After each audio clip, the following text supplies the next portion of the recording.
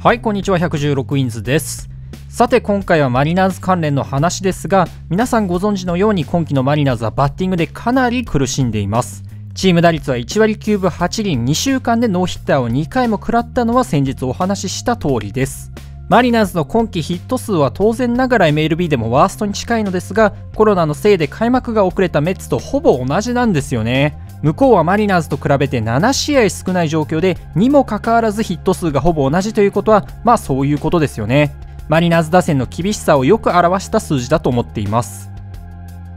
そんな打線の中でオアシス数少ないメジャーリーガーらしいバッティングを見せてくれているのが外野手のミッチ・ハニガーですね。ハニガーはもともとはオールスター外野手としてマリナーズ打線の中心として活躍していましたが抗がん破裂という男性からしたらその字面だけでヒュッとなりそうな大怪我を2019年に負いましてそこからいろいろあって今季2年ぶりに MLB に復帰した選手です。2年間のブランクがありましたのでかつてのバッティングがすぐに戻ってくるか少し不安視されましたが結果はエンゼルス大谷選手に次ぐリーグ2位タイのホームラン12本。打点数についても今季は主に1番を務めながらチームトップの30打点とむしろ離脱する前よりもいいんじゃないかと思うぐらいの内容を残しています。このハニガーがいて MLB 最低打線を誇る現在のマリナーズですが本当にハニガーがいなかったらと思うとゾッとしますよね。痛々しい大怪我を乗り越え打線を支えるハニガー男性の皆さんには特に彼の復活を応援してほしいなと個人的に勝手に思っていますので今回ご紹介していきます。ハニガーは今でこそ MLB でオールスタークラスのバッティングができている選手なのですがそこに至る道のりは決して平坦なものではありませんでした。2012年ドラフト全体38位指名をブルワーズから受けプロ入りしたハニガーですが大学出身の選手ながらなかなかマイナーへの適用がスムーズにいきません。ダブル A までは上がりましたが成績も目立つものではありませんでしたしましてや1巡目指名の大学生と考えるとかなり物足りない印象。2014年の途中にヘラルド・パーラとトレードでダイヤモンドバックスへ移籍となりますがここでも初めは大きな改善は見られずくすぶっていましたがしかし転機が訪れたのは2016年。この年からハニガは徐々にフライをうまく打つコツをつかみ始めましてこの結果長打が増え始めるとトリプル A にも初めて昇格。74試合で20本打率も3割4分1厘と好成績を残しこれが MLB 初昇格にもつながりました。初めての MLB ではインパクトは残せませんでしたが今後のブレイクに期待ができそうな充実の1年を送ることができました。このハニガーの急成長に目をつけたのがジェリー・ディポト GM 率いるマリナーズでした。マリナーズはこの時期プレーオフ進出を本気で目指しコンテンダーらしいチーム作りを行っていたのですが特にショートに絶対的と呼べるような選手がいなかったので上位打線でアベレージの期待できるジーン・セグラ獲得を画策しついでにハニガーの獲得も模索。そして実際に11月23日にダイヤモンドバックスとのトレードを成立させセグラに加えてハニガーをチームに加えることに成功しましたもちろんダイヤモンドバックスに渡した見返りも決して安いものではなく、かつてはトッププロスペクトとしてチームのエースになることが期待されていたタイワンウォーカー。さらには当時22歳のシーズンを終えたばかりながら、ショートとして高い潜在能力を秘めたケテルマーテの2人を手放すことにはなってしまいました。ただこのトレードについてはセグラとハニガーはオールスター級の活躍を見せたあるいは見せていますしまたダイヤモンドバックスに移籍したマーテも2019年に MVP 投票4位に入るような選手へと成長しましたので今のところこのトレードは両球団にとってウィンウィンとなっているんじゃないでしょうかね。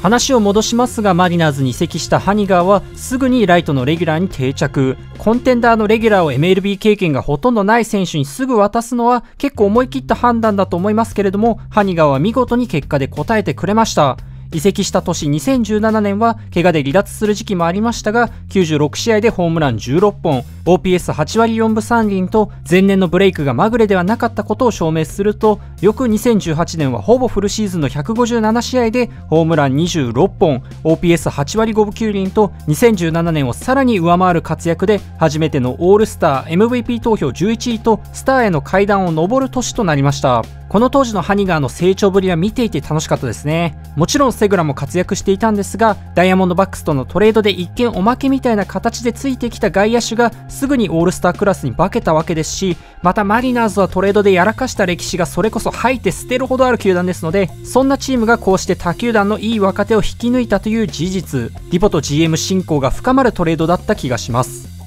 ただマリナーズはダイヤモンドバックスとのトレードの時に目論んでいたプレーオフ進出に失敗しチームの伸びしろに限界を感じたディポと GM は2018年のオフにチームの再建を決断。カノー、クルーズ、セグラ、パクストン、ズニーノといった主力選手がチームを離れる中、マリナーズは再建の投打の柱として、投手陣はマルコ・ゴンザレス、攻撃陣にはハニガーを据え、彼らを中心として数年後のプレーオフ進出を目指すチーム作りに舵を切ることとなりました。これまでよりも重要なポジションとなったハニガー。2019年以降もさらなる活躍が期待されましたが、アンラッキーが彼を襲います。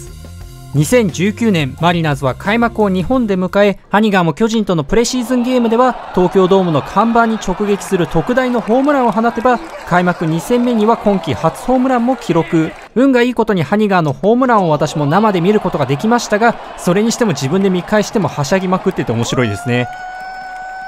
まあ、それは置いといて、アメリカに戻ってからもハニガーはホームランを量産し、63試合でホームラン15本。速球にやたらとこの年は苦しんでいたので、アベレージはかなり低かったんですが、ホームラン数はキャリア最多ペースを維持していました。しかし6月6日のアストロズ戦3回に打席に立ったハニガーは自打球が彼の内股付近に直撃当然ながら悶絶してしまったんですがただ交代はせずそのまま打席も完了させました。で守備にもついて大丈夫だったのかなと思われましたが7回に途中交代となって診断の結果抗がん破裂というあまりに痛々しい怪我が判明。緊急手術の運びとなりました。もう文字の並びからして痛い。ラプチャードという単語が使われるべき箇所じゃないですよ本当に。男性ならわかると思いますがあの付近は何が当たってもウッとはなりますしましてや石のように硬い野球のボールが当たったとなればこれ以上は考えたくないですね。ハニガーもさすがに痛みがひどすぎて交代を自ら申し出たらしいんですがその状態でもう1打席立っていますのでむしろよく我慢したと言いますかプロ野球選手の強さがよく表れたエピソードとも思いました。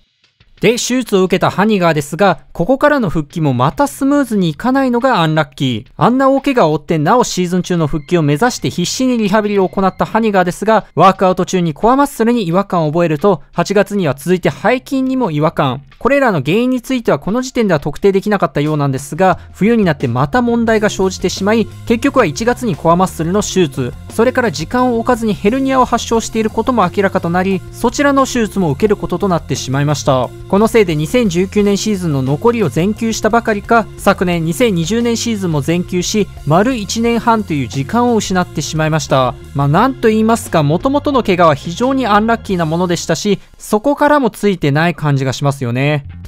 ただこれだけの不運に見舞われながらもハニガーの闘志は消えていませんでした。冒頭でも触れた通り今季はようやく健康を取り戻し2年ぶりにグラウンドに帰ってきましたがバッティングはかつてオールスターに選ばれた時と遜色ないものだと思っていますしブランクを感じさせない内容です。昨年12月には女の子が生まれ父となったハニガー。背負うものもより大きくなりましたがここまでの活躍を続けることができれば2度目のオールスター選出もありそうですし何よりカムバック賞も狙えそうですよね。今季は大腸がんを克服したオリオールズのトレイマンシーニもいますがなんなら2人で受賞というのも良さそうです。壮絶な怪我を乗り越えまたメジャーに戻ってきたハニガをぜひ今後 MLB の試合を見る際には注目してみてはいかがでしょうか。ということで今回の動画は以上としたいと思います。今後もですね MLB に関する動画上げていきますので興味のある方ぜひチャンネル登録していただけると幸いです。それではご視聴ありがとうございました。